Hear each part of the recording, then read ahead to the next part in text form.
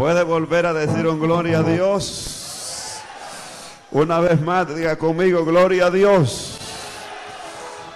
Dios es real, hermano, y está en este lugar. Dele la mano al que tiene a su lado y le dice bienvenido a la casa de Dios. Los hermanos que están arriba también, salúdele y dígale bienvenido. Eh, si es una hermana, bienvenida. Y después que se haya saludado, tiene la bondad y se sienta. Gloria a Dios para siempre. Estamos contentos, hermanos, porque Dios nos ha regalado un día más de vida. Y qué bueno que usted y yo lo estamos aprovechando, porque estamos aquí en la casa de Dios. ¿Sabían ustedes, hermanos, que a nivel mundial cada segundo, cada segundo mueren seis personas? Cada segundo. Imagínense cuántos murieron desde que yo tomé este micrófono. A nivel mundial. Usted verá mañana tantos en coche bomba en tal país, tantos en que se fue un bus a un abismo tantos que murieron en accidente automovilístico. Y todos los días usted ve eso. Y usted y yo tenemos el privilegio de contar con un día más. Entonces Dios es bueno. Dios es bueno. El salmista David decía, yo me alegré con los que me decían a la casa de Jehová iremos. Ahora, ¿por qué David descubre eso? Porque en el Salmo 133, en el verso 3 dice, porque ahí envía Jehová bendición y vida eterna. O sea que aquí en este lugar hay bendición para nosotros y salvación para los amigos. Hay bendición para la iglesia y vida eterna para los que vengan sin salvación. Bienvenidos todos mis hermanos. Eh, no tenemos de hecho una iglesia más, aparte de algunos hermanos que nos visitan de otros lugares. Tenemos por allá el hermano Saúl con su familia. Póngase de pie, hermano Saúl. Queremos dar la bienvenida. ¿Cuánto le damos la bienvenida? Bienvenido. Nos alegramos de verle. Ustedes son de aquí. Ustedes son de aquí. La hermana que está atrás también, hermana de la esposa de nuestro hermano Saúl, bienvenida. ¿Cómo les decimos? Bienvenido. Tenemos también a nuestro hermano Noé, Noé, ¿verdad? Noé y su esposa que vienen de Winchester, hermano de nuestra hermana, nuestra hermana Wendy, también Milton. Pónganse de pie, hermano, vamos a dar la bienvenida. ¿Cuánto le damos la bienvenida a ellos? Bienvenido, nos gozamos que estén con nosotros en este día sábado. Y bueno, todos, todos los que están son bienvenidos. Le pido por favor que mantenga su celular en vibración para cuando Dios nos esté hablando a través de su palabra, no vaya a sonar ese ruido ahí que vaya a interrumpir ahí a su hermano que está a su lado. Póngalo en vibración en el amor del Señor. Y luego, hermanito, dejamos ya con nosotros a nuestro hermano eh, Alcides Viera y él quedará compartiendo la palabra del Señor. Pero usted le da un aplauso al Señor porque Él es bueno.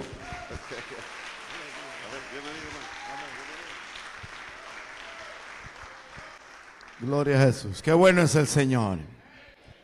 Yo estoy muy contento. ¿Y usted? Desde que salgo de mi casa yo vengo decidido a gozarme. No matter what, como dijo el americano, no importa lo que tenga que hacer, pero yo tengo que gozarme. Porque esta es casa de Dios y es puerta del cielo. Y David dijo, en tu casa hay plenitud de gozo. ¿Sabe qué significa plenitud de gozo? Significa gozo del bueno. Porque el mundo se goza, pero su gozo no es verdadero.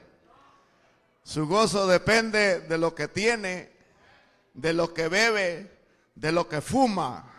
Pero el gozo de la iglesia viene de Dios. Y este gozo no debilita, fortalece. Fortalece. Si usted no se goza, se va a ir débil de este lugar. Pero si usted se goza, usted va a salir renovado de aquí. El profeta Nehemías le dijo a Israel, no os entristezcáis, porque el gozo del Señor es vuestra fortaleza. El que vino débil, si se goza, se va a fortalecer. Porque Dios a través del gozo, renueva nuestras fuerzas. Gloria al Señor. Nos estamos gozando al ver a esta generación de jóvenes comprometidos, diría yo, a servirle al Señor. Porque hoy en día, hermanos, necesitamos marcar diferencias. Y la diferencia la va a marcar aquel joven que decida servirle al Señor. Servir a Dios no es una opción, es una decisión. No importa cuántos se pierdan, no importa cuántos dejen a Dios, no importa cuántos lo nieguen, yo voy a servir a Dios. Yo voy a servir al Señor. Pocos jóvenes le han servido a Dios como Josué, que cuando fue comisionado para ir a espiar la tierra de Canaán, él fue uno de doce que marcó diferencia, pero estaba decidido servir a Dios. Y en el libro que lleva su nombre, en el capítulo 24, versículo 15, él se para frente a Israel y le dice, si Jehová es Dios, servirle. Amén. Y si mal te parece servir a Dios, escoge a quién vas a servir. Si a los dioses que sirvieron vuestros padres al otro lado del Jordán, o a los dioses de los amorreos en cuya tierra habitáis, pero yo estoy decidido que yo y mi casa le serviremos al Señor. ¿Usted sabe que Dios quiere hacer algo grande en esta generación? Sí, pero quiere que alguien se decida servirle a Dios. Las universidades están llenas de problemas. Los colegios están llenos de problemas. Las escuelas están llenas de problemas. Y quienes pueden hacer la diferencia son aquellos jóvenes decididos por servir a Dios. Las ofertas de Satanás están tocando la puerta, están asediando la mente, están bombardeando el corazón por todos los medios, por el celular, por la computadora, por los amigos, por los maestros, por los compañeros de clase. Pero cuando un joven se decide servir a Dios, todos esos dardos son apagados por el Espíritu Santo del Señor. Que Dios bendiga al pastor Mario y bendiga a esta iglesia. Le decía a él, aquí hay gente de Dios. Amén. Aquí hay gente de Dios. Aquí hay jóvenes de Dios. Y por eso es que Dios está interesado en esta iglesia. Gloria al Señor porque la tiene, hermanos, en un lugar inmejorable. Usted no está aquí, hermano, porque no hay otro lugar, sino porque este es el lugar que Dios ha elegido para que usted levante su voz en alto, gloria al Señor, como un verdadero creyente y marque la diferencia.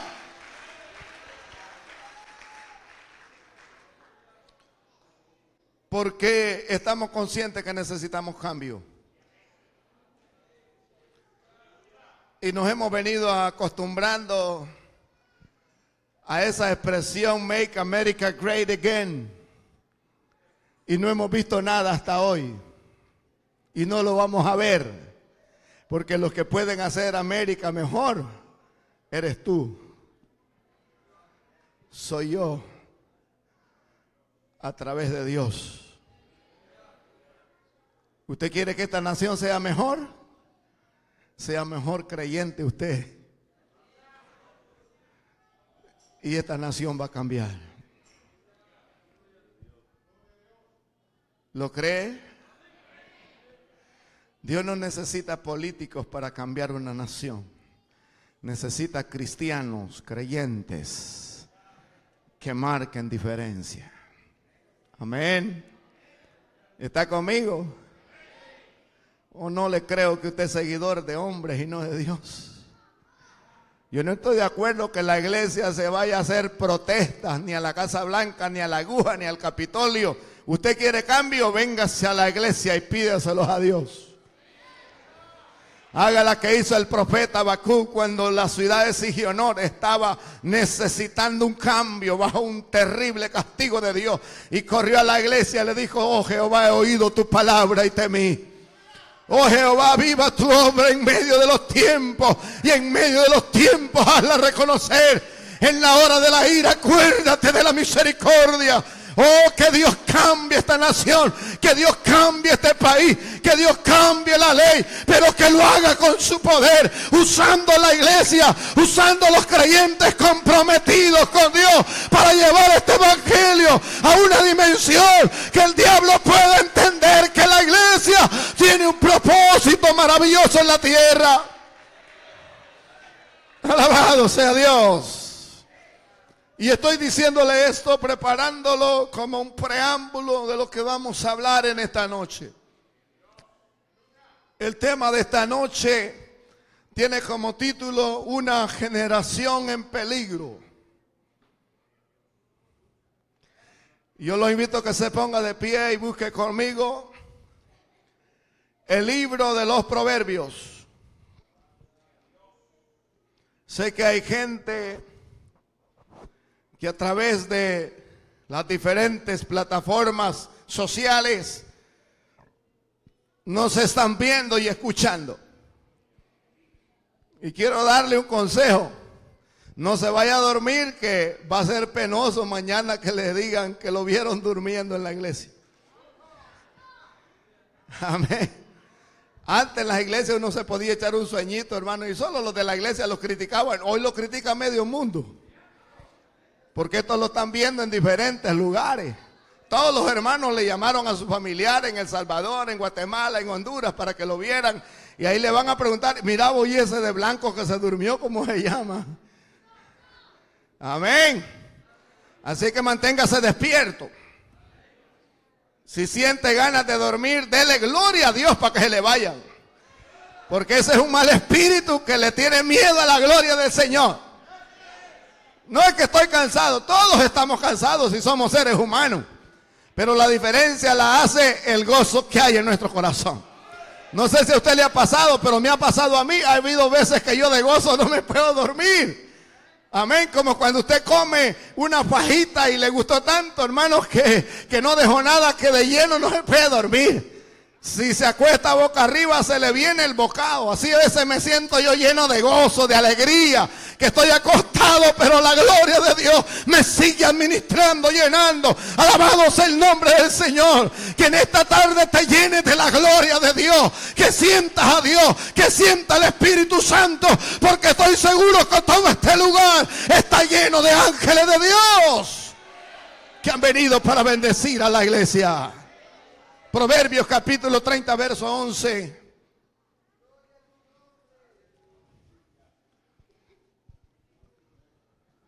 Amén. Dirán los jóvenes, este hermano la ha agarrado con nosotros y no te voy a soltar hasta mañana. Amén. Proverbios 30, 11 en adelante dice así honrando al Padre, al Hijo y al Espíritu Santo. Hay generación que maldice a su padre y a su madre no bendice. Hay generación limpia en su propia opinión, si bien no se ha limpiado de su inmundicia. Hay generación cuyos ojos son altivos y cuyos párpados están levantados en alto. Hay generación cuyos dientes son espadas y sus muelas cuchillos para devorar a los pobres de la tierra y a los menesterosos de entre los hombres. Palabra de Dios. Padre, en esta noche, Señor, hemos leído tu palabra. Y estamos aquí, Señor, para pedirte que esta palabra, oh Dios, que viene del cielo, sea como la nieve y la lluvia, que tiene un propósito, Señor, cuando la envías que da semilla al que siembra y pan al que come, que esta palabra caiga en corazones sensibles, Señor, y pueda dar fruto al ciento por uno.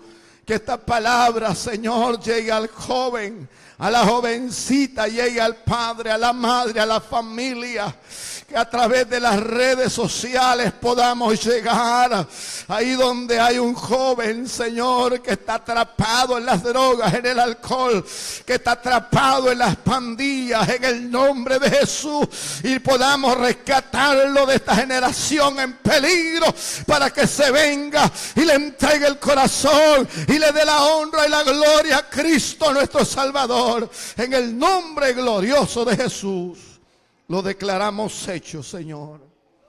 Amén. Puede sentarse, hermanos.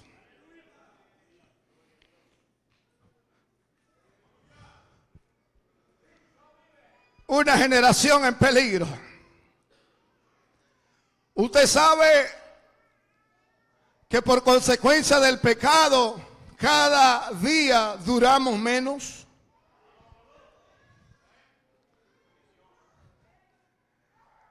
por consecuencia de la maldad, los días de nuestra generación cada vez son menos. Antes la gente se afligía, se lamentaba, se preocupaba cuando iba al funeral de un joven. Porque normalmente la gente moría de vieja de años. Nadie se preocupaba, se sorprendía, estaba satisfecho, estaba feliz cuando iba a un funeral de una persona de la tercera edad y daban gracias a Dios porque murió como Abraham, anciano, pero lleno de vida por la ley de Dios. Hebreos 9:27 dice, está establecido al hombre que muera una vez. Es una ley inevitable. Eclesiastés capítulo 8, versículo 8, dice que nadie tiene potestad sobre el espíritu para detener el espíritu, ni potestad sobre el día de la muerte para no haber muerte, y ni la impiedad salvará al que la posee y no valen armas en tal guerra. Es decir, la batalla en contra de la muerte es inconquistable. Ni el dinero, ni la fama, ni la medicina, nadie podrá evitarnos que un día tengamos que morir. Pero cuando vemos las estadísticas, esta generación que nos ha tocado vivir a nosotros es la generación de días más cortos jamás vista en la historia. Usted prende las noticias y vamos a hablar del Salvador. ¿Cuántos somos salvadoreños aquí? Vamos, que no le dé pena. Es triste lo que pasa en nuestro país. Lo que pasa en Latinoamérica. La guerra, hermanos, de la lucha por sobrevivir está arrasando con la juventud. Ciudades enteras que usted va a visitar, solo personas de la segunda y de la tercera edad. Y se pregunta usted, ¿por qué? Porque las personas de la primera edad han quebrantado los mandamientos divinos de Dios. Y eso los ha llevado a perder la vida. Porque Dios es fiel, Dios es justo. Y para que el hombre viva y disfrute de la bienestar de Dios, debe de cumplir la palabra de Dios. Mira que te mando, que te fuerce y sea valiente. No temas, no desmayes, porque Jehová tu Dios estará contigo donde quiera que vaya. Pero antes de eso, nunca se apartará de boca este libro de la ley, sino que de día y de noche vas a meditar en él, porque entonces harás prosperar tu camino y todo te saldrá bien. Pero el joven que quebranta lo que la palabra de Dios dice, sus días son reducidos. Sus días son reducidos. ¿A qué se debe? Al quebrantamiento de la ley divina de Dios. Y Salomón, un especialista en aconsejar al joven, nos dice que hay generación que maldice a su padre y a su madre no maldice. Vamos a hablar de cuatro clases de pecado. Oiga bien, que destruyen al joven y su futuro. Es triste ver a jóvenes que no alcanzan ni los 30 años y ya no tienen esperanza. Ya están destruidos. Ya están vencidos. Están atrapados. Están encadenados. Están viviendo una vida que les viene mejor la muerte. Optando por el suicidio y en la estadística que decía el pastor Mario, que 69 personas, hermanos, por minuto están muriendo sin conocer a Dios. Es lamentable que el 40% de esa cifra son jóvenes menores de 30 años que no están siendo asesinados, que no están siendo muertos por una cáncer o por otra enfermedad, sino que se están suicidando, quitándose la vida. ¿Sabe por qué? Porque su camino ya se terminó, porque su camino ya llegó al final. Pero gloria a Dios por los jóvenes de la iglesia. Gloria sea el nombre del Señor, que están en el camino de la vida. Alabado sea Dios, que tienen esperanza. ¿Cuántos tienen esperanza? Que tienen promesas de Dios, que no tienen razón de sentirse aburrido, cansado, rendido porque tiene a Dios de su lado. Porque tiene a Dios en el corazón. Y esto no es nuevo. Tito el Grande fue uno de esos decepcionados. De 30 años se quería suicidar. Ese hombre que marcó la historia. Y le preguntaron, ¿por qué te quieres suicidar? Y él dijo, es que me siento aburrido, no tengo nada que hacer. Esos jóvenes de los que cuentan en esta estadística son esos jóvenes que toda la vida andan amargados, aburridos, están en la casa, están aburridos, los llevan a la tienda, están aburridos, vienen a la iglesia, están aburridos, andan con la familia y andan aburridos. El Señor Jesús dijo, ¿a qué compararé esta generación? Semejantes son a los muchachos que están en el parque, en la plaza y le dan voz a su compañero diciendo, ustedes ya no tienen remedio, les tocamos flauta y no baila, les echamos y no se lamenta porque ustedes salieron a ver a Juan que no comía ni bebía y decían demonios tienen. Ahora vino el Hijo de Dios que come y bebe y dice hombre comelón y bebedor porque esa generación no tiene remedio. Oh gloria sea el nombre de Dios. Pero aquí hay una generación, una generación bendecida que puede hacer la diferencia para la gloria de Dios. Primer pecado. Los que rechazan los derechos de la familia de Dios. Rechazar los derechos de Dios en la familia es maldecir a tu padre y a tu madre. Muchas veces como jóvenes nos creemos suficientes con derecho de maldecir a nuestros padres. Y le decimos, viejos desgraciados, como él ya vivió la vida, ahora no quiere que yo viva la mía. Porque así trata esta generación a sus padres. Antes oíamos hablar de la profecía de Jesús, porque vendrá tiempo en que se levantará nación contra nación, reino contra reino. Hijo contra el padre, padre contra el hijo, la hija contra la madre, la madre contra la hija, la nuera contra la suegra, que eso no tiene remedio, pero es profecía de Dios. Y la suegra contra la nuera, y estas cosas solo eran profecías, pero ahora es la realidad. Ahora es la realidad. Padres que se levantan y queman vivo a sus hijos, los meten en el carro, los arrojan a un río como que si no tuvieran corazón. Pero esa es esta generación que está siendo destruida por el pecado. ¿Y de dónde se origina esta destrucción? En que no hay deberes de honrar a nuestros padres. Hay generación, dice Salomón, que maldice a su padre y a su madre no bendice. Eso quiere decir que a los dos maldice. Y vamos a leer lo que dice Proverbios 20:20. 20. Miren lo que dice.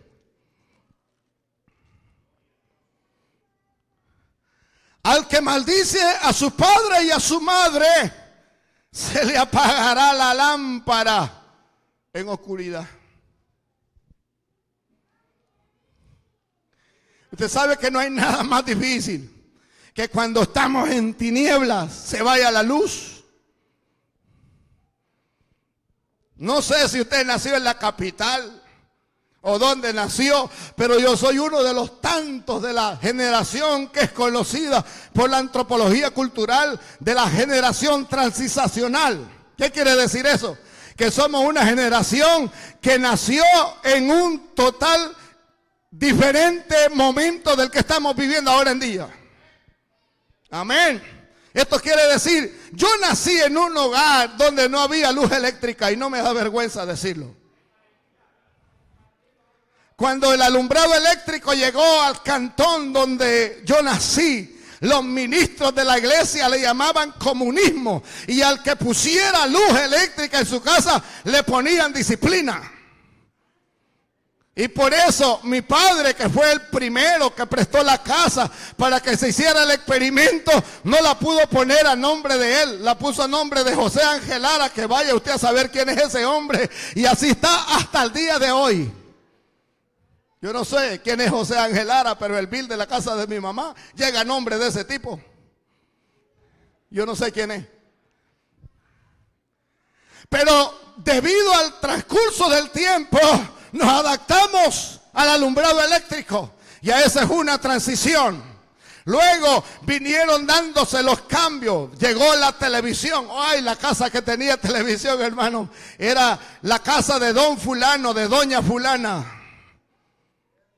Y se oía la gente, ahí oíamos hablar de la televisión. Estamos hablando de los años 80 o 70. Amén. Y nos fuimos acostumbrando a ese cambio de la noticia, de la innovación, de la radio, la televisión. Y fuimos saliendo de ahí, luego pegamos un salto enorme de allá a este país.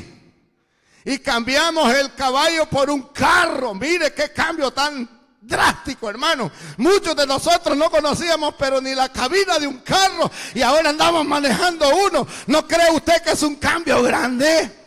Y la gente que no aceptó ese cambio en, el Medio Oriente se le llama left behind. Gente que se quedó en el pasado, que no puede actualizarse, que no tiene valor, no se atreve, hermanos, a hacer un updating en su vida y se ha quedado allá atrás, que no sabe ni apagar y encender una luz, que no sabe ni apagar y encender un celular. Y no es que eso sea bueno, pero tampoco es malo. Alabado sea el nombre del Señor. Y de esa generación somos nosotros Alabado sea Dios, que Dios nos ha puesto aquí para entender los caminos de Satanás y por donde el diablo viene avanzando en su terreno para destruir a la iglesia del Señor. Pero aquí está la iglesia peleando la buena batalla de la fe.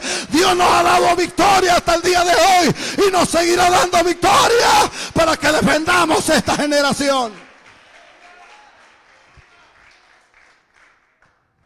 En esa transición generacional, el joven juega un papel importante. Porque Dios te quiere usar a ti para que mañana les alumbres el camino a los que necesitarán de Dios. Y no había nada más difícil que estar en un servicio, por ejemplo, funeral, a plena medianoche y que la luz se fuera. Amén. Y oía el lamento de los que tenían televisión cuando se iba la luz a plena novela. Se quedaba lamentando y saber cómo va a terminar o en qué terminó. Si se habrá dado cuenta, porque esa es la intriga de las novelas. A ver si fulana descubrió quién es que le ponía los cuernos o con quién. Y quedaba en la intriga, quedaba aquel, hermanos, aquella ansiedad. Y la palabra del Señor dice que el joven que maldice a su padre y a su madre en la más densa oscuridad de la vida, la lámpara se le va a apagar. ¿Y usted sabe cuál es la lámpara? La lámpara es la luz de la vida. Es la que te da la oportunidad de saber quién eres, de dónde vienes y para dónde vas. Pero si no bendices a tu padre y a tu madre, esa luz se apagará cuando más la necesites. Y es entonces que usted va a ver jóvenes perdidos en las calles que no saben de dónde vienen ni para dónde van. Y el profeta dice, no sabe cuál es su derecha ni cuál es su izquierda porque la luz de ellos está apagada. Pero en esta noche yo quiero retarte, enciende la luz que Dios ha puesto en tu vida. No creas que maldecir a un padre es cosa común. Tiene repercusiones terribles en la vida de una persona. ¿Quieres tener problemas en tu vida? aterca en contra de tu padre. Ese que te da todo. Ese que mientras tú duermes, Él trabaja. Esa que mientras tú vagas en esta vida, está trabajando para que tú lo tengas todo. Merece que tú la llenes de bendiciones. Es triste la cultura en que vivimos, que solo hay un día para la madre y los otros 364 le vivimos dando problemas. Y las madres siquiera tienen un día y los padres que no tenemos ni uno. Solo está marcado en el calendario nada más. Father Day. Pero nadie se acuerda de los viejos. Amén. Digan amén los hermanos que después se van a estar quejando. Amén. Y esa generación que no bendice a su padre está en peligro de extinción. Y no lo va a extinguir el gobierno, no va a extinguir los padres. Se va a encargar Dios. Esos hijos ingratos, soberbios, que hermanos le levantan la voz hasta los padres. Y han habido otros que se pasan, hermanos, de, de límite, que hasta los golpean, los abofetean, les jalan el pelo. Esa generación está en la mira de Dios. Porque Dios exige que para que en esta vida te vaya bien, debes de aprender a honrar a tus promogenitores. Darle honra al Padre es hacer la voluntad de Dios. Así lo dice la palabra del Señor. Hijos están sumisos a vuestros padres porque esto es justo y agradable delante de Dios. Si hay algo que honra a un padre es tener hijos obedientes. Hijos que lo atiendan, que le hagan caso. Amén. Pero lamentablemente hay generación que se encapricha en maldecir a sus padres. ¿Cómo se maldice un padre?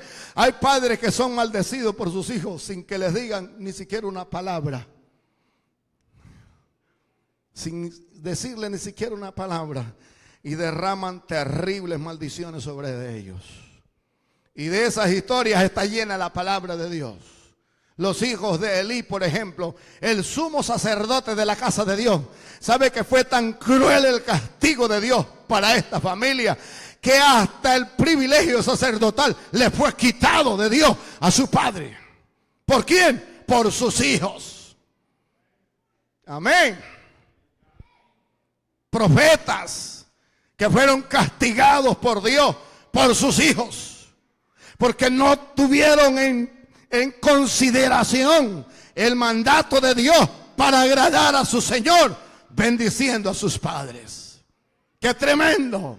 Cuando yo veo la vida de José, vendido por sus hermanos y le dijeron a su padre, he aquí los trapos de su hijo José, devorado por alguna mala bestia. Los encontramos llenos de sangre. Ellos sabían que no era sangre de su hermano, sino que era algo que ellos habían tramado y los habían vendido. Dice la palabra del Señor que 40 años más tarde se encontró con sus hermanos. Alabados el nombre de Dios. Y en vez de tener odio y rencor con ellos, dice la palabra de Dios que les ayudó, les puso comida en las hermanos en sus espaldas y los mandó de regreso a su padre. Y la segunda vez que vinieron, él se descubrió a ellos y les hizo esta pregunta. ¿Vive mi padre aún?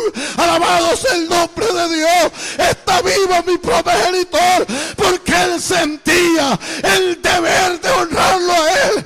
Y por eso en la Biblia es un gran hombre comparado con Cristo porque vivió para agradar al Padre que le había dado la vida. Alabado sea Dios. Se imagina cómo se ha de haber sentido el papá de José. Y mire, hermano, la vida de José fue difícil. Porque hay hijos que se viven quejando. Es que mis padres no crean, no son fáciles. La vida de José no era fácil tampoco. José era un muchacho de sueños y de ilusiones. Y una noche tuvo un sueño y él veía en el cielo muchas estrellas, pero veía un lucero, el cual era él, y el sol y la luna se inclinaban y lo reverenciaban. Se lo contó a sus hermanos y lo aborrecieron. Se lo contó a su padre y hay historias en la Biblia, hermanos, como esta, que los comentaristas como, como Eusebio, como Flavio, dicen que esta noche José durmió bien castigado porque su padre le dijo, ¿qué clase de sueño es este muchacho? Solo falta que esperes que tu mamá y yo vengamos y te adoremos y que tus hermanos también vengan y te adoren. Solo falta que nos pidas eso. Pero Dios estaba bien metido en la vida de José porque José había venido a honrar a Dios y a darle honra a sus padres. Le pregunto, ¿qué sucedió el día que Israel murió? Dice la Biblia que murió adorando a José, apoyado sobre su bordón. ¿Y qué sucedió cuando sus hermanos vinieron a despedirse de José? Se inclinaron y lo adoraron. Lo que él había visto en un sueño, lo estaba recibiendo en persona. ¿Por qué? Porque vino para hacer la voluntad de Dios. Como hijos queremos que nuestros padres nos den todo. Pero eso tiene gran responsabilidad cada persona. Es que un hijo bueno, hermanos, todos queremos tener lo que se sienta bien. Amén. Cuando un hijo nos honra en la escuela, hermano, llegar a la escuela y que la maestra le diga, tienes un buen hijo. Ay, hermano, si uno deseara hasta ser más grande para levantar la cabeza más arriba. Pero qué triste cuando en la puerta de la escuela y a boquejarro lo agarra. Necesitamos llevarlo a la dirección. ¡Pum! Es el corazón a su padre. Y de una vez vuelve a ver el hijo. ¿Qué hiciste? Porque ya sabe que el problema viene por ahí. Pero qué lindo es cuando un hijo se dedica a honrar a sus padres. Ese niño, esa niña, ese joven tiene toda la bendición de Dios. Amén. Y en esto entra todas tus decisiones. Un joven que a la hora de contraer matrimonio se va a oscura con su novia, ese no honra a sus padres. Ese no se honra a sí mismo, ese no honra a Dios. Y esta generación lo tiene por costumbre. Cada día son más las mamás solteras y los papás solteros que andan niños, hijos de nadie, llevados en los brazos. ¿Sabe por qué? Porque no les importó honrar a sus padres. Tú tienes que interesarte, venir aquí al altar a ser unido por el Señor. No es solo un deber, es una honra para los padres que sus hijos hagan la voluntad de Dios. Y un matrimonio que comienza aquí en el altar tiene toda la bendición de Dios para su vida y para su descendencia. Pero cada día son más los hijos habidos en pecado en esta generación. Y eso es lo que alimenta la pobreza cultural en la que estamos viviendo. Y cuando nuestros hijos nos preguntan, cuando ven los videos de las otras bodas, los álbumes de las otras bodas, y en la boda tuya, papi, ¿por qué yo no salgo? ¿Por qué tú no tienes fotos? ¿Por qué tú no tienes videos de la boda? No sé que cuando la gente se brinca por la ventana nadie lo graba. Amén. Yo quiero que los jovencitos piensen bien esto. Un hogar que comienza de acuerdo a la voluntad de Dios tiene derechos que en momentos de prueba venir a pedirle a Dios que le ayude. Porque hay hombres y mujeres llorando, diciendo, el hombre que tengo no me sirve, pero es que no te lo dio Dios, lo agarraste tú. Esa es la mujer que tengo. No me sirve, pero es que no te la dio Dios. Esa te enamoraste de ella y te la llevaste. Lo que Dios da es bueno. Alabado sea el Señor. Dios no da cosas malas, Dios da cosas buenas. Pero esta generación, hermano, se ha acostumbrado a hacer las cosas a escondidas de Dios. O al menos eso es lo que intentan, porque de Dios nadie se puede esconder. Amén. Tremendo. Yo hablo mucho con mi hija. Y aunque no tiene edad de casarse, pero ya tiene 18. Yo le digo a ella, conmigo tienes todo si haces todo bien. Soy capaz de irte a recoger donde sea, de dar mi vida si es posible, de darte mi casa, mi cama, mi todo, pero si haces las cosas bien, pero si haces las cosas mal, solamente la misericordia de Dios contigo.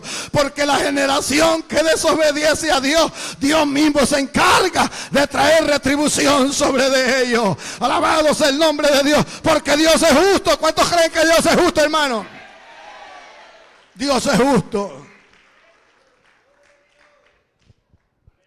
El primer pecado de esta generación en peligro es la desobediencia a los padres. Hijos que no obedecen a sus padres. El padre le dice, no vayas, igual se va. No hagas esto, igual lo hace. Hay joven, hermanos, que en desobediencia con los padres anda hasta de novio, de novia. Y el papá no sabe nada. Lo sabe toda la iglesia y toda la escuela, menos el padre ni la madre. Eso se llama desobediencia. Cuando alguien te levanta la ceja, te manda un texto medio coquetón, el primero en saberlo deben de ser tus padres. Amén.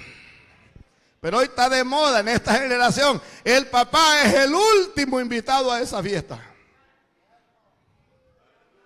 Amén. ¿Por qué? Porque el designio de esta generación no es honrar a sus padres. Pero un hijo que honra al padre, un hijo que honra a la madre, Dios lo honra a él. Amén. Como decía lo que leía nuestro hermano acerca de Jesús? Y Jesús crecía en estatura y en sabiduría para con Dios y para los hombres.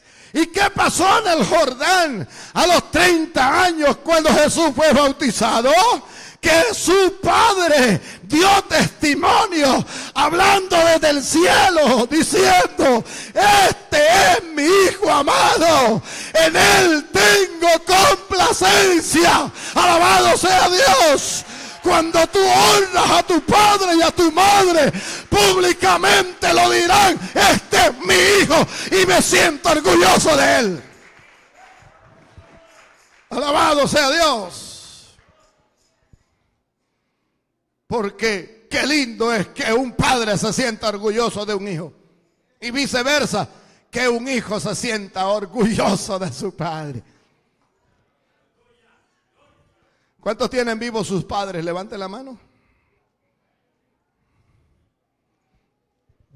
¿Se siente orgulloso de su padre? ¿No le da vergüenza decir quién es? Qué tremendo.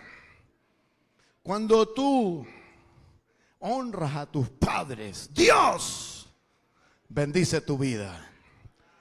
Segundo pecado. Esto es terrible, hermano. Los que se consideran justos en su propia opinión y no quieren que papá y mamá los corrijan. Yo ya lo sé todo. ¿Qué me vas a decir tú a mí? Tú no sabes nada, son las expresiones de esta generación. Y cuando papá y mamá le dice algo, dos expresiones, whatever, I don't care, porque se siente autosuficiente. Yo quiero decirte algo, joven, por muy inteligente que tú seas, las arrugas y las canas de tu padre son signos de experiencia en su vida. Amén. En el ejército hay un término que se llama antigüedad, al que se debe de respetar, aunque sea un día de diferencia, y el hermano Mario sabe bien eso. Aunque ambos sean soldados rasos, pero si uno tiene un año y el otro va entrando, le debe Porque esos 365 días más que tiene ahí lo hacen más experto. Y tú como joven en esta vida, yo puedo asegurarte que no sabes nada. Y tus padres saben mucho. Y de ellos debes de aprender y de depender. Porque ellos son responsables de guiarte a la presencia de Dios. Hoy en día el joven, porque sabe usar la computadora, porque sabe usar las redes sociales, se cree más importante que el papá y que la mamá. Y esta vieja no sabe nada. Es más, ni inglés habla y la insulta está en inglés. Acuérdate que tenemos un Dios que es el creador de todas las lenguas y los dialectos. Y Él conoce toda palabra. No ha salido de tu boca la Y Él ya la sabe. Alabado sea el Señor. Y de Él es que tienes que cuidarte. Jesús dijo, no temáis al que mata el cuerpo y después nada puede hacer. Yo le voy a declarar a quien hay que temer. Aquel que puede destruir el cuerpo y el alma en el infierno. Esta generación no quiere tomar en cuenta la guianza de sus padres. No quieren que los papás le digan nada. Y decíamos ayer, por eso es que en esta nación es común y aunque no lo aceptemos, es común que los hijos a los 18 años se vayan de la casa sin ninguna razón justificada. Yo te voy a decir algo. La única razón por la cual debes de salir de tu casa es el matrimonio. La única. Si estás soltero, debes de permanecer con tus padres. No, es que yo ya soy independiente, tengo 20, tengo 30, no importa cuántos años tenga.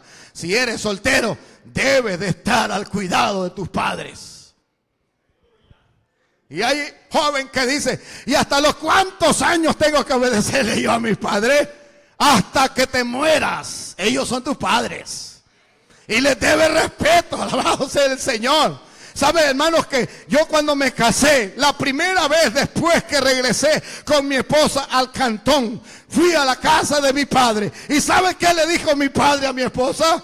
Aquí se lo he entregado como marido. Y si se porta mal, cuénteme que todavía es hijo mío. Alabado sea Dios. Al llegar a la casa le dije, mira, ese viejo no le vaya a decir nada, porque es capaz que me truena ya casado, alabado sea el Señor. Y cualquiera no va a levantar la mano, no puedo, es mi padre. Y la palabra de Dios dice, maldito el hijo que levantare sus manos en contra de su padre. Siete veces será maldito. Yo no quiero maldición sobre mi vida y especialmente de Dios. Yo quiero bendición sobre tu vida. Así es que trata la manera de agradecer a tu Padre. Esfuérzate por honrarlos, por creerles, por aceptarlos. Si te quieren aconsejar, aguántate. Préstale atención a los consejos de tu padre. Muchos jóvenes se sienten inteligentes y sabios porque va bien en la universidad, va bien en el colegio. Pero ¿sabe quién es realmente el joven sabio, prudente, inteligente? Aquel que es guiado por sus padres. Amén. Pero esta generación no es nada nuevo, hermanos. Esto ha venido trascendiendo de generación en generación. ¿Recuerda usted a Sansón? ¿Quién era Sansón? El hombre más fuerte de la historia. No ha habido hombre como Sansón nunca en la historia. Más fuerte que él. No ha habido nunca. Nunca. ¿Y sabe cuál fue el pecado de Sansón? Ignorar el consejo de su padre. Sus padres trataron de librarlo. Porque tu padre no es que quiera que destruirte, lo que quiere es librarte. Amén. Cuando llegó donde su padre le dijo, papá, me he conseguido una novia filistea y quiero que vayan y me la pidan, le dijo el padre, hijo, eso no es permitido por la palabra del Señor. Tú tienes que buscar aquí entre las de tu sangre, de tu descendencia, de tu generación, de tu gente. No tienes que ver para afuera buscando filisteas. No podemos hacerlo. Y él dijo, esa es la que quiero y punto. Por eso es que hay tanto joven reventado ahí en la vida, fracasado, y después viene llorando a la casa, papá, mamá, papi, mami, nada de eso. Ellos quieren librarte, ellos quieren que seas bendecido, que sean feliz, pero tú tienes que oír la voz de Dios a través de ellos. ¿Y usted sabe qué significa el nombre Sansón? El pequeño sol estaba diseñado para ser como el sol en todo su esplendor. Pero ¿por qué le llaman el pequeño sol? Porque al mediodía se escondió.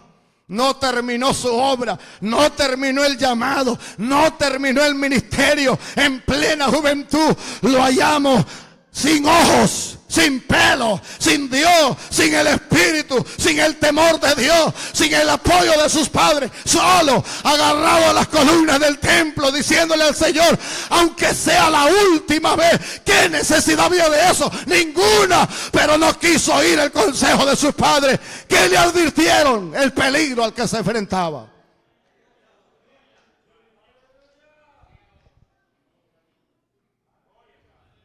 Esto no quiere decir que todos los padres tienen la razón, porque también hay padres equivocados. Amén. Hay padres que a la hora de casar al hijo le dice, búscate una que sepa una profesión, una doctora, una licenciada, una enfermera, una profesora, una que tenga una buena posición y lo mismo con las hijas. Búscate un don Juan, un ingeniero, un arquitecto. No te vayas a casar con un gramero, con un inmigrante que no tenga ni papeles ni hable inglés y se le olvida lo más importante de decirle cásate con alguien que te ame, alguien que te valore, Alguien que quiera honrar a Dios y servirle. Mire hermano, la Biblia dice del libro de los proverbios que es mejor dormir en el techo de una casa en paz y no en cama espaciosa con una mujer rencillosa. Y es mejor un bocado en seco y en paz que en casa de buey engordado donde no hay amor, donde hay iras y contienda. Pero eso la gente no lo quiere oír y por eso hay tanto problema en esta generación porque estamos ignorando el consejo de los padres.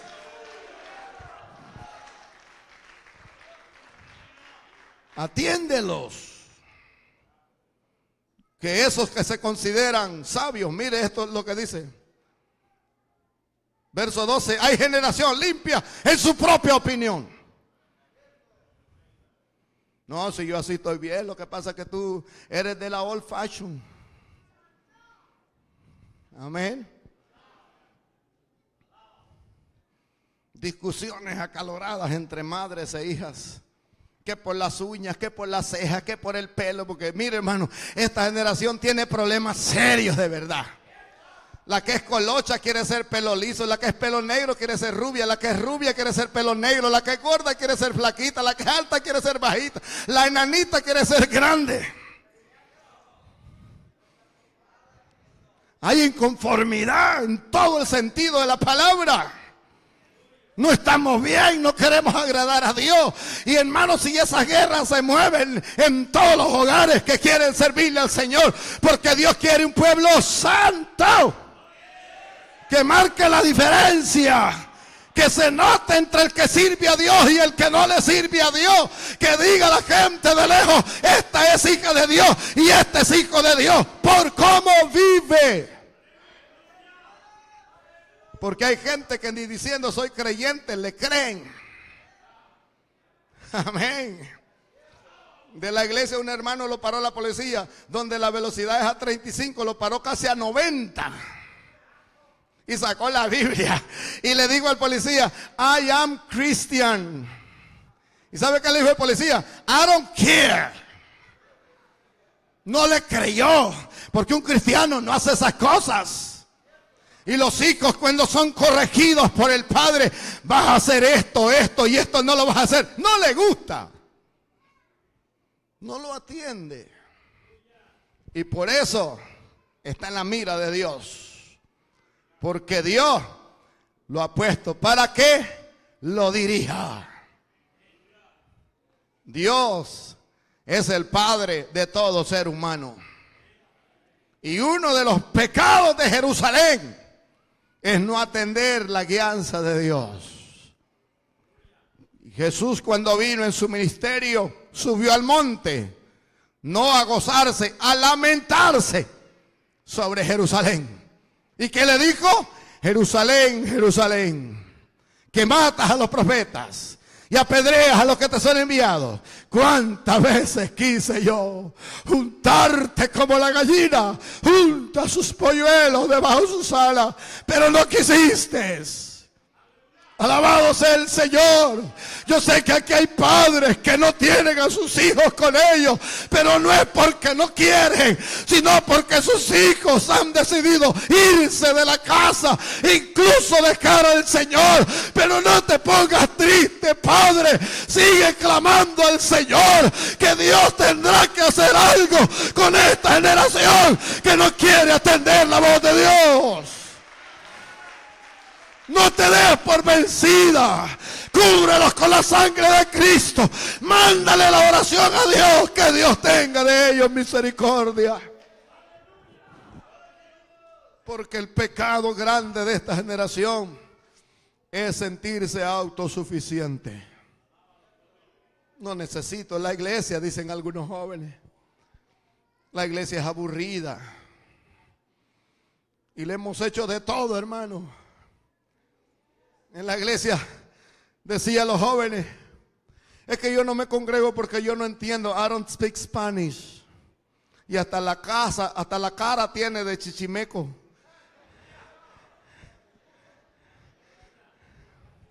Pupusa bien sabe decir en español. Tortillas, frijoles,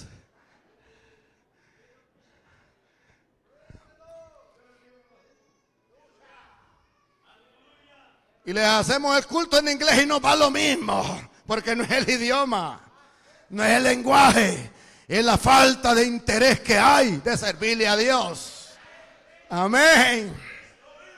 Cuando salga usted y tenga tiempo, busque en, en, el internet o en Google a Crystal Leus. Es una cantante estadounidense de origen canadiense que fue a El Salvador con un evangelista de fama internacional y cantó alabanza 100% en español como eh, mi buen Jesús como es Jesús el lirio de los valles, alabanzas hermanos evangelísticas. Y en una entrevista solo se puso a reír y dijo, yo no entiendo nada español. ¿Y cómo es que ha cantado solo de español? Es que le he dedicado tiempo a aprender esas alabanzas para adorar a Dios. Y eso le puede hacer usted, lo puedo hacer yo, cualquiera que tenga la intención de servir al Señor. Amén. Porque es una excusa que usted diga que no habla español. Amén. ¿Y sabe qué es lo más irónico, hermano Mario? Que hay hijos que no hablan español y los papás no hablan inglés. ¿Sabe qué significa eso? Que no hay comunicación en el hogar. Amén. Con tantos cultos en español, hermano con tantos mensajes en español es para que todos hablemos español. Yo nunca fui a la escuela a aprender inglés. Never. Fui el jueves a matricularme y el viernes que llegué ya estaban graduándose. Solo un día fui. Y cuando se reingresó el seminario, el que me daba ray para ir, se había mudado de la casa, no volví a ir. Pero una anciana en la iglesia me dio un consejo, me dijo, aprende una palabra en inglés al día y en un año usted habla inglés. Una al día, hermano, eso no es nada. Yo me aprendí varias y algunas tuve que borrarlas porque no me servían más que para problemas. Amén. Y si usted quiere que su hijo hable español, hable usted inglés. Porque es una excusa. La gente dice, no hermano, es que, es que el inglés no se me pega. Es que no es chicle. Ese es un interés que usted tiene que despertar. ¿Para qué? Para guiar a esta generación. Amén. Yo cuando mi hija se hace la desentendida y como que no me quiere entender, entonces le hablo en inglés y me dice, a la verdad que contigo nunca te voy a ganar una. Porque es mi responsabilidad, es tu responsabilidad. Mostrarle el camino hacia Dios. Una generación que se constituye, hermano, justa en su propia opinión, es una generación en peligro. ¿Qué dice el sabio Salomón? Hijo mío, no te olvides de mi ley y en tu corazón guarda tus mandamientos. Porque largura de días y años de vida y paz te aumentarán Nunca se aparte de ti la misericordia y la verdad. Átalas a tu cuello, escríbelas en la tabla de tu corazón y haya la gracia y buena opinión ante los ojos de Dios y de los hombres. Fíjate de Jehová de todo tu corazón y no te apoyes en tu propia prudencia. Reconócelo en todos tus caminos y Él enderezará tus veredas. Porque entonces serán llenos tus graneros con abundancia y tus lagares rebosarán de mosto. Porque Dios se encargará de bendecir cada vida que reconozca que Dios es el que le ha puesto a papá y a mamá para que lo dirijan en esta vida hacia la presencia de Dios. Amén. Tercero, están aquellos jóvenes que se encargan de ignorar simplemente el consejo de Dios y de sus padres. Que es tremenda esa generación, hermano. Son como las piedras de río que están en lo profundo del río y tienen una capa de lana encima que usted las rasca con las uñas y están más secas que las que están en el desierto y adentro del río. Y cuando tenga la oportunidad de un río, haga la prueba. Saque una piedra de las que están adentro y ráspele la lana y la piedra está seca. y está dentro del río. Pero está el agua pasando encima de ella, pero no se alimenta de ella. Así hay muchos jóvenes. No, si yo soy hijo de un evangelista, es que no es por nacer en avión que se llega a piloto. No, es que mis padres son cristianos. Hay cantidad de jóvenes perdidos allá afuera diciéndole a uno cuando anda evangelizando. No, ¿y usted qué me va a decir a mí? Si mi papá es hasta pastor, cristiano, evangelista, misionero, es diácono, pero eso no te hace salvo. Lo que te va a salvar es poner en práctica la palabra de Dios. Jesús estaba enseñando en la casa de un fariseo y llegaron unos mensajeros y le dijeron, maestro, tus hermanos te buscan. Y él dijo, ¿cuál es hermano? ¿Cuál es mi madre? Mi madre y mis hermanos son todos aquellos que hacen la voluntad de mi Padre. Alabado sea el nombre de Dios. Pero esta generación se ha encargado de ignorar la palabra de Dios. Amén. Y qué triste, yo no sé usted, pero yo salgo a evangelizar.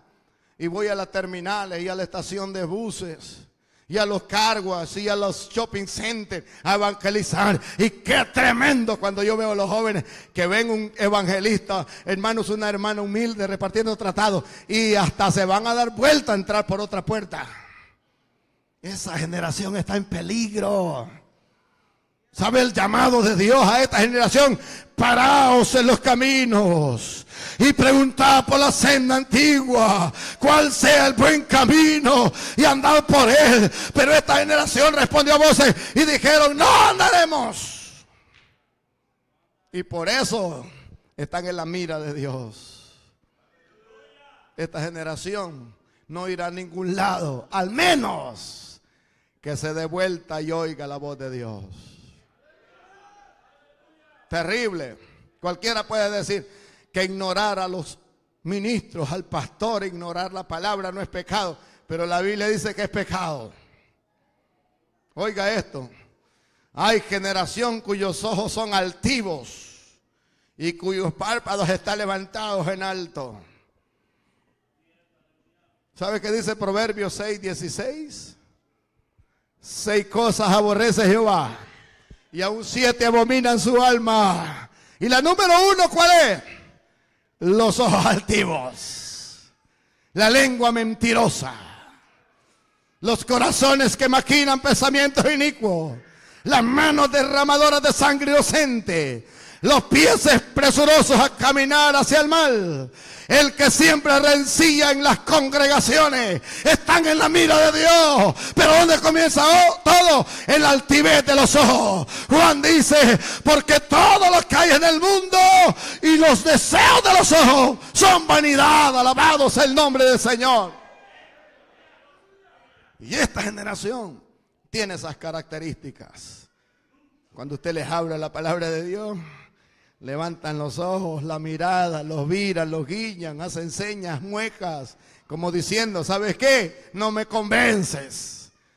Yo no estoy aquí para convencer a nadie. La palabra de Dios nunca ha sido para convencer a nadie, ha sido para predicarla. Y Jesús dijo, el que creyere será salvo. Y el que no, ya es condenado. ¿Por qué? Porque se ha negado a creer en el unigénito Hijo de Dios. Mucha gente tiene problemas queriendo convencer. No, hermano, no tenga problemas, no se amargue la vida. Usted no está aquí para convencer a nadie, está para hablar la palabra de Dios. Amén. No comparto con aquellos predicadores que dicen, en esta parte la Biblia quiso decir, la Biblia nunca ha querido decir nada, siempre ha dicho lo que quiso. Amén. Porque la palabra de Dios es viva y eficaz. Eso dice Santiago. Y más cortante que toda espada de dos filos. Que alcanza a partir el alma y el espíritu, las coyunturas y los tuétanos. Y discierne los pensamientos y las intenciones del corazón. Amén. Esa generación de desdeñadores que andan por ahí, hermanos erguidos, soberbios, que no quieren obedecer la palabra de Dios, están en peligro. Tengo un amigo, pastor, en Guatemala. Está allá porque fue deportado de esta nación el año pasado.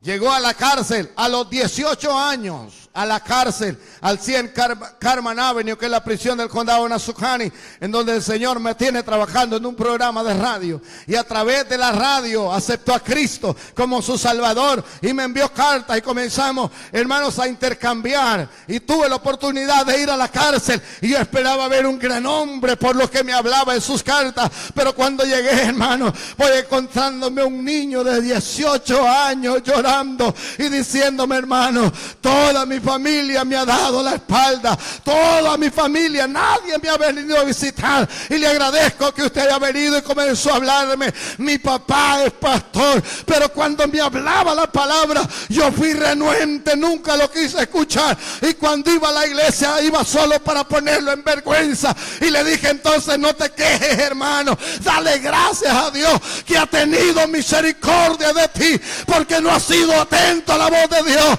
La Biblia dice, si oyeres hoy mi voz, no endurezca el corazón. No endurezca el corazón. Si Dios te habla, joven, atiéndelo. Si no, mañana llorarás. Y no llorarás tanto por el problema, sino porque el juez llamado conciencia te dará con una almágana diciendo, si hubieras oído la voz de aquellos viejitos, no estaría donde estás ahora. Alabado sea el Señor.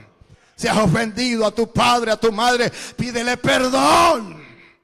Humíllate delante de Dios antes que sea demasiado tarde. Esa gente, hermano, que simplemente está ignorando a Dios, está en peligro. Dios no puede ser ignorado. Tú puedes ignorar al hermano Viera, al pastor Mario, pero jamás trates de ignorar a Dios.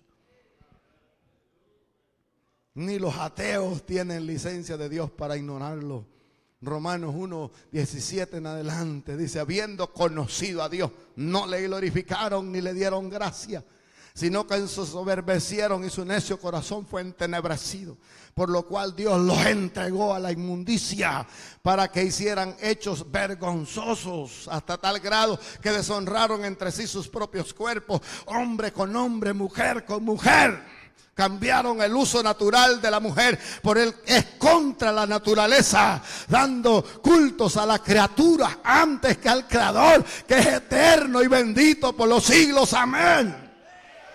Todo lo que esta generación está viviendo, no crea usted ese cuento que es producto de la naturaleza, no, es porque están desobedeciendo la palabra de Dios. Ese nivel de lesbianismo, de homosexualismo que está pudriendo esta generación, no acepte jamás en su mente y conciencia que es producto de la naturaleza, es producto de haber ignorado a Dios.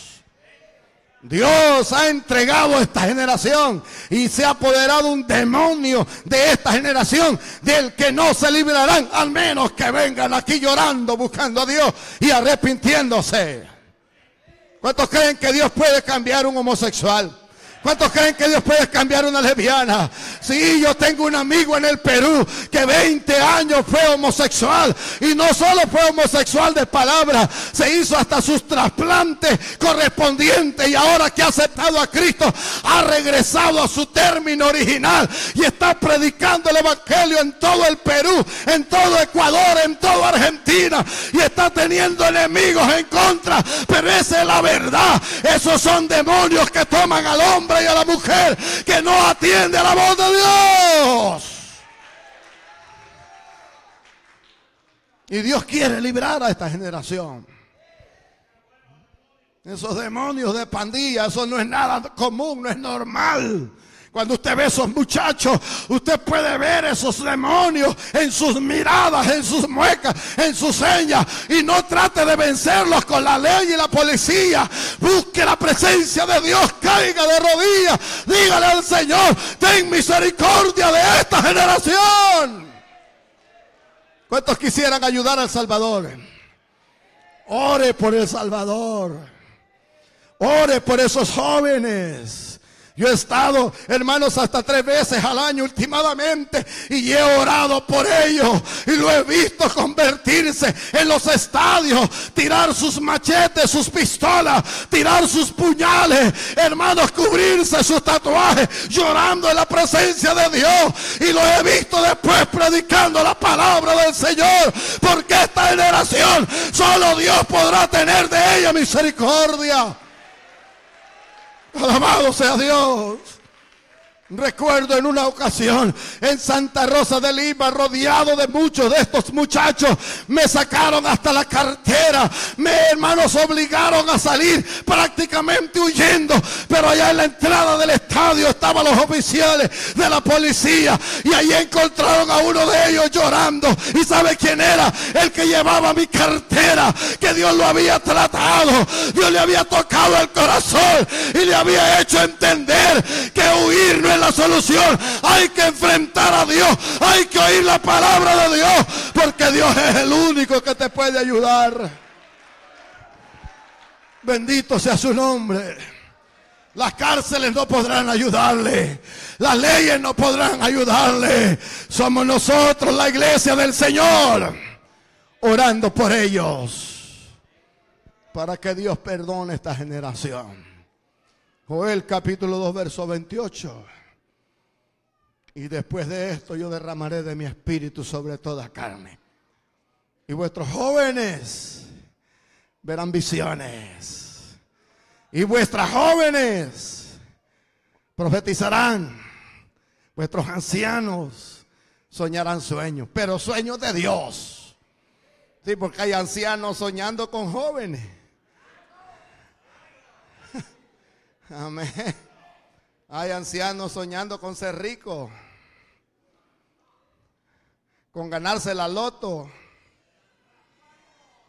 Sueños de Dios. Amén. Sueños que Dios mostrará cosas magníficas, cosas hermosas, secretos de Dios revelados en sueños como se le fue revelado a Daniel. El enigma de Nabucodonosor, según el capítulo 2 del libro que lleva su nombre, sueños de Dios.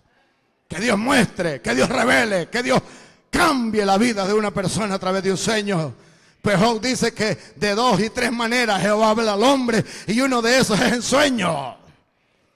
Amén. Y esa es promesa de Dios para esta generación. ¿Cuándo? Cuando escuchemos la voz de Dios. Así que jovencito, escucha la voz de Dios. Aunque te parezca gravoso, estás en la obligación de escuchar a Dios. Termino. Los crueles en su forma de hablar.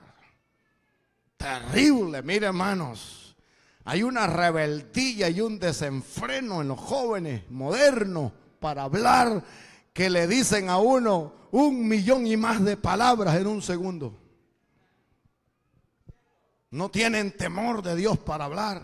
Y hay joven que me ha dicho a mí, es que yo no tengo pelos en la lengua, lo que tú no tienes es freno. Yo no tengo hueso en la lengua, lo que no tienes es temor en el corazón. Un creyente que quiere ver la gloria de Dios, primero piensa y después habla. Amén. En un seminario para matrimonios decía un pastor, aún en los matrimonios hay que tener cordura para hablar. Y el momento menos indicado para hablar es cuando estás enojada, es cuando estás enojado. Dijo un pastor, cuando tengas una tormenta de palabras eléctricas, desenchufla la lengua, porque es peligroso un choque de dos fuerzas y hay hasta violencia en el matrimonio. Pero alguien tiene que escuchar la voz de Dios, alguien tiene que hacerse a un lado y dejar que pase la marea y después vendrá la bonanza. Pero ¿quiénes hacen eso? Los que primero piensan para hablar. Esta generación hace todo lo contrario. Dios dice que seamos prestos para oír y tardos para... Ahora no, hermano. Ahora ni bien hemos oído cuando ya estamos hablando. Tenemos ese pequeño defecto que casi a todos nos gusta hablar y a pocos les gusta escuchar. Cuando las tiendas Walmart se establecieron en este país, había un hombre que trabajaba en el departamento de quejas, el departamento más difícil para trabajar. Y trabajó 20 años en ese departamento. Cuando él se retiró por la edad, cada dos, tres meses cambiaban el sustituto de este hombre. Hasta que por último, el dueño de las tiendas decidió llamarle a aquel que había estado 20 años en esa silla para pedirle el secreto. ¿Cómo hacer para que alguien dure el tiempo que tú duraste? ¿Y sabe qué dijo este hombre? Aprendan a escuchar. Cuando una gente llama para poner una queja, no está llamando para que tú te quejes, sino para que lo escuches. Amén. El esposo llega a la esposa con una queja y él tiene 20 listas. Ella pone una y le caen 20. O viceversa. Ay, tú que venís aquí diciendo. El esposo llega, mira, ahora no me digas nada porque vengo cansado. Ay, tú que crees que yo he pasado echada todo el día. No, si yo también me fajo. Todo. No, hermano, tenga paciencia. Piense para que después hable. Pero esta generación dice, hay generación cuyos dientes son espadas y sus muelas cuchillos. ¿Y para qué se usan estas cosas, hermano? Para edificar, para fortalecer. No, estas son armas de guerra. Y aunque les llaman armas blancas, de blancas no tienen nada. Son para destruir. Y esta generación tiene ese problema. Esta generación tiene problemas para hablar. Y lo escuchamos en los cultos.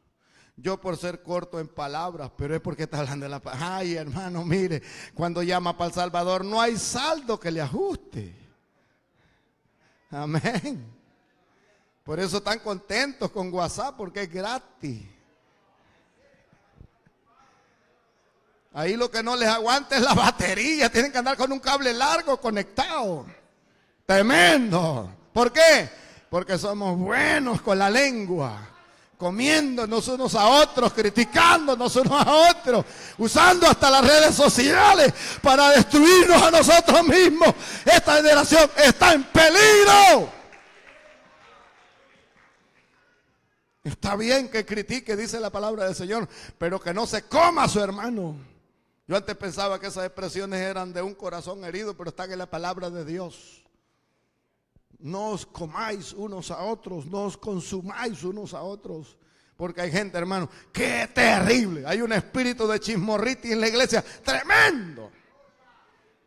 Ay, hermano, sí que no se puede dar cuenta de algún chambre porque le da alergia la lengua por irlo a contar. No se puede callar nada. No puede ver y callar.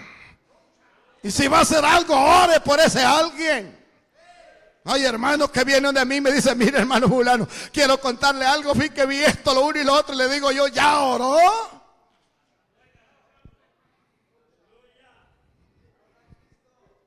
La Biblia dice, si vienes a tu hermano pecar, que dice, divúlgalo en Facebook, en Twitter, en Instagram, divúlgalo en, en, en tango, en dólar. No, dice, ora por él. Ve y reúnete con él. Amonéstalo estando tú y él solo. Y si convencieres al pecador para que regrese del mal camino, has salvado un alma de muerte y cubierto a multitud de pecados.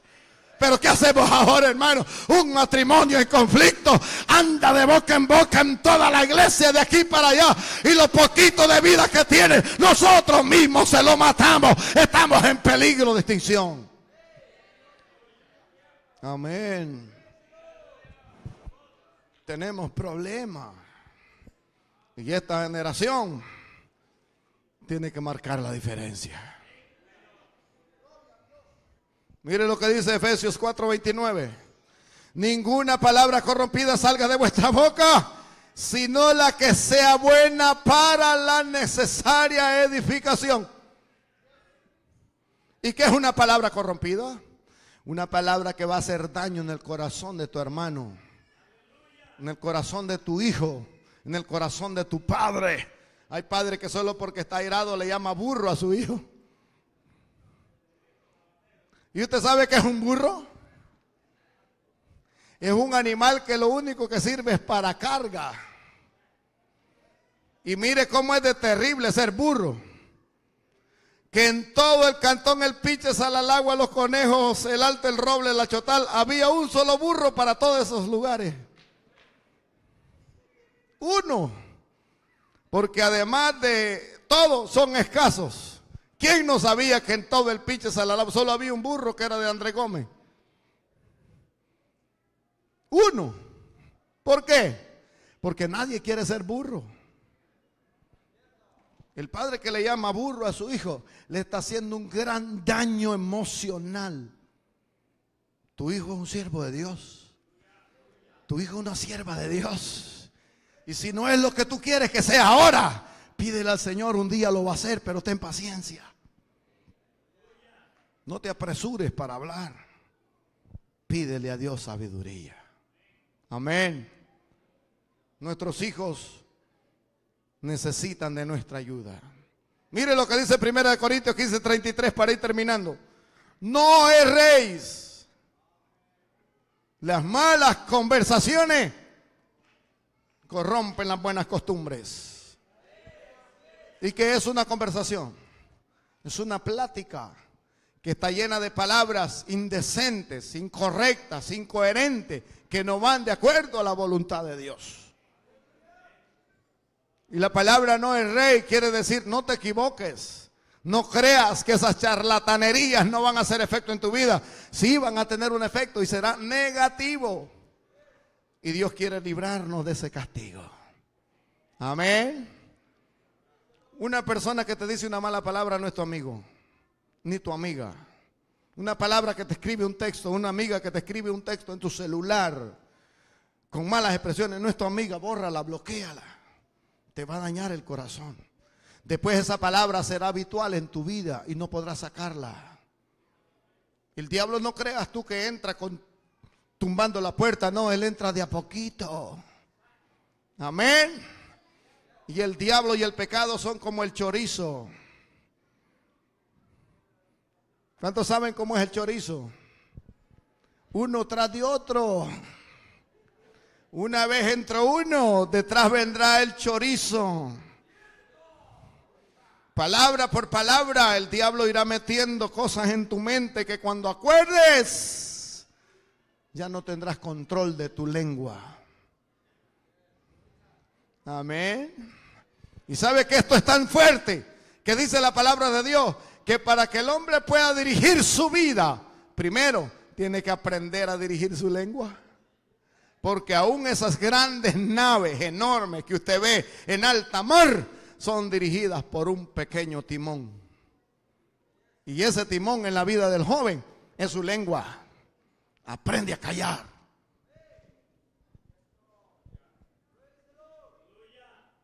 Aprende a quedarte en silencio. Oye la voz de Dios. Problema en nuestra vida es que dejamos que el hervor del corazón nos caliente la lengua. Dijo un predicador, cuando el corazón se calienta, la lengua se alarga. Pero en nosotros está el control.